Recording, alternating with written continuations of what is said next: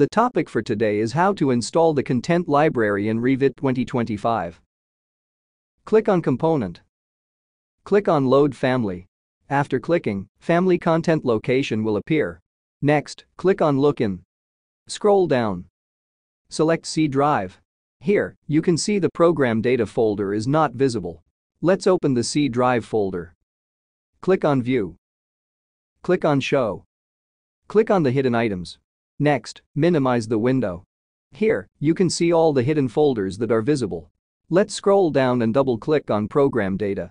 Double-click on the Autodesk folder. Let's scroll down and locate RVT 2025. Double-click on RVT 2025. Double-click on Libraries.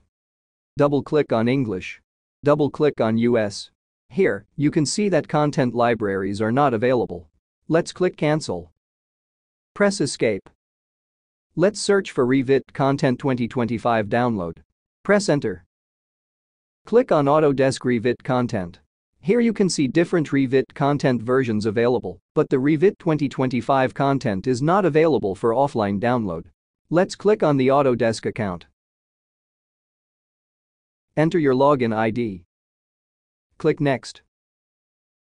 Enter your password. Click on Sign in and wait for the page to load. This may take some time depending on your internet speed. Next, click on Get Products Update. After clicking, Autodesk will start loading updates.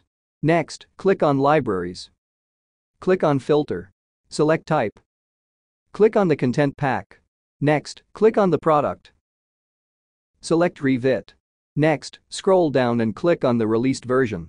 Here, you can see that different versions are available. For example, let's click on Revit 2025.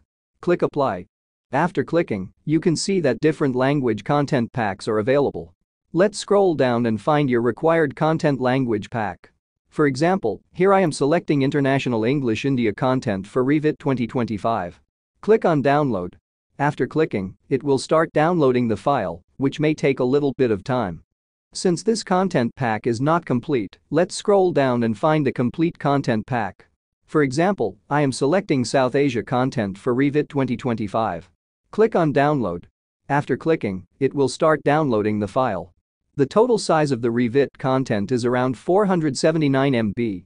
So this may take some time based on your internet speed, so fast forward this portion. Here you can see the content library has been downloaded successfully. Let's open the downloaded file location. Let's double-click on Revit Content Asia. After clicking, it will start extracting the content from the installer. After extraction, it will start preparing for installation. After preparation, the installation page will appear. Click on Install. After clicking, it will start the installation process. Here, you can see a source file missing error that occurred during installation.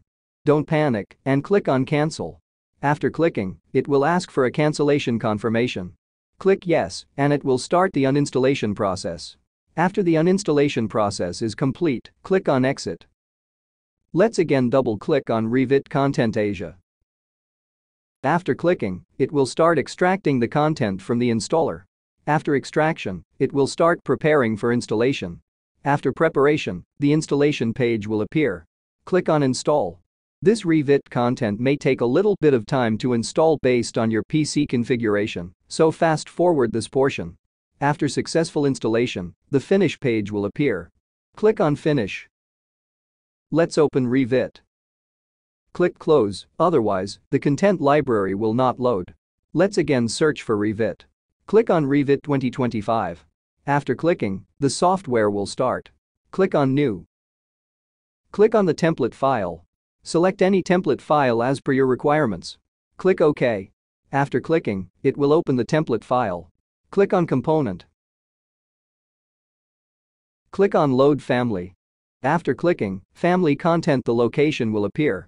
Next, click on Look In. Scroll down. Select C drive. Let's scroll down and double-click on Program Data. Double-click on the Autodesk folder. Let's scroll down and locate RVT 2025. Double-click on RVT 2025. Double-click on Libraries. Double-click on English. Here, you can see that content libraries are now available. Double-click on South Asia. Double-click on Door. So here you can see all the libraries that are installed. So in this process, you can install missing content library files. Like, subscribe, share, and press the bell icon for more interesting topics.